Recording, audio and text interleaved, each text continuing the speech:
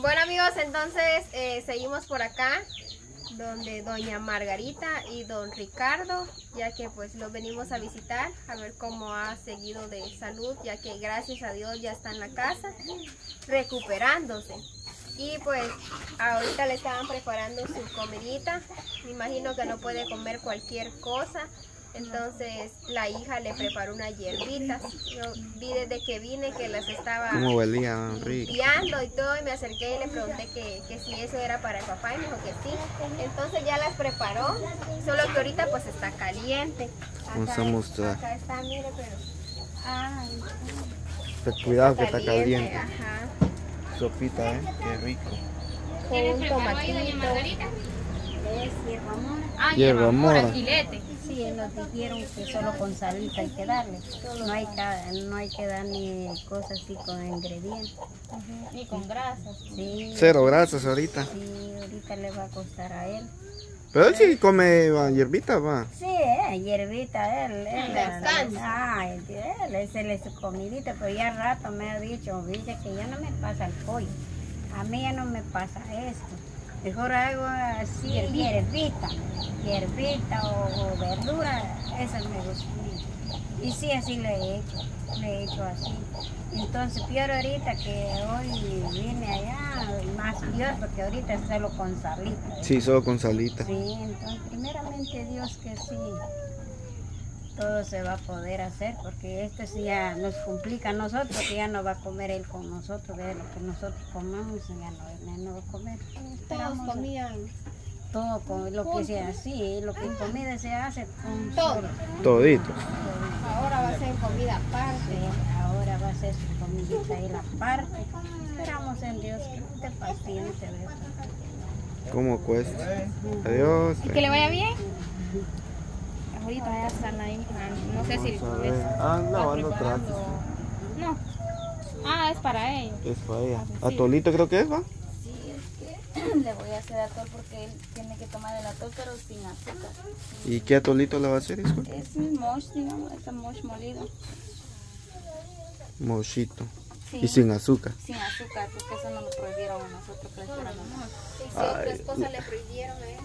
Pues fíjese que él puede comer lácteo- lácteos, pero así queso, crema, todo eso lo puede comer, fideos, todo eso, pero no excesivo, no que es medido. Ya la comida de él es bien medido ya. Y nos dijeron que la sal a él sí le ayudaba, pero lo que era más ingrediente que uno le echa a la comida ya no. Entonces nosotros tenemos que cuidar eso bastante porque como él no puede comer así bastante con, como que decir, con consomé y todo eso, él no lo puede comer. Solo con sal. Y el atol tiene que ser sin azúcar. Simple. Sí, simple. Usted y su mamá está algo triste. Sí, Porque bastante. usted el lunes ya empieza a trabajar, ¿ves? Sí, pero como le digo yo a ella, este, usted, ella se da cuenta en el caso de que está mi papá, la que ah, tiene que traer la comida aquí he sido yo, porque yo soy la que estoy trabajando, yo le tengo que ayudar a ella con el gasto de la comida de los niños, a ver cómo Dios nos va a ayudar, va. Porque como le digo a ella, tal vez no es bastante porque uno no gana lo suficiente digo, para cubrir todos los gastos. Pero yo también tengo gastos de los niños, digo, yo tengo los dos niños, tengo al niño más grande estudiando y también tengo gastos con él. Digo, usted se da cuenta que yo también tengo muchos gastos con ellos. Por eso es lo cual yo le digo a ella que yo me voy a ir a trabajar el lunes, dependiendo qué me vayan a decir el lunes. Ahora si allá en la finca me van a dar permiso, entonces yo me voy a quedar más tiempo aquí. Pero mientras yo siento que tengo que ir el lunes a ver qué me van a decir. le digo. Pero ella, por eso ella se pone triste. Ella me dice, ¿qué voy a hacer yo? Me dijo, porque vos sos la que ha estado más con tu papá. Me dijo, y es cierto, porque en el hospital, allá en la clínica yo estuve con él Sí, así vimos. lo cuidé yo, yo le daba de comer, yo era todo con él. Ahorita en la noche que estuvo aquí igual, ella me decía que papá se queja, que quiere agua, que quiere medicina. Yo me levantaba con él a, a- a levantarlo más, porque como yo estaba más con él, entonces ella eso me dice, mira, eso lo haces, ustedes lo hacen, yo no, no, a mí me cuesta. Por eso ella se, le- se pone triste, ¿va? porque ella dice que le va a costar bastante. ¿Y usted cuando le pasó eso a su papá, usted estaba trabajando, ¿no? Yo estaba trabajando. ¿Y cómo supo ya hasta cuando ya estaba aquí? Yo supe eso de las 2 de la tarde, casi las 3, porque como yo estaba trabajando y hoy en esa finca, este, el teléfono lo tengo retirado.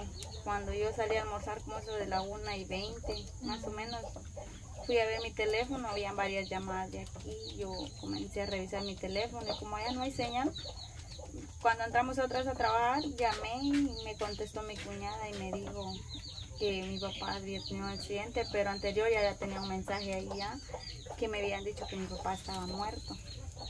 Entonces, en ese momento yo le dije al encargado que yo me iba porque mi papá tuvo un accidente.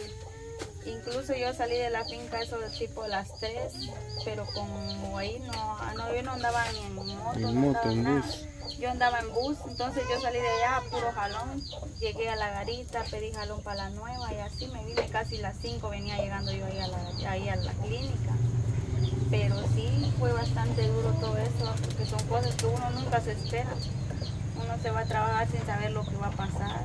Sí. Y sí, está siendo bastante duro para nosotros, ¿verdad? Porque, como dice mi mamá, nosotros no estábamos acostumbrados a todo esto de decir que vamos a hacer así con la comida de él, porque él comía de todo, tranquilo y todo, pero después de todo sí, todo está cambiando, dijo, y eso es lo que a ella lo, lo preocupa bastante, porque dice, yo no sé si voy a poder.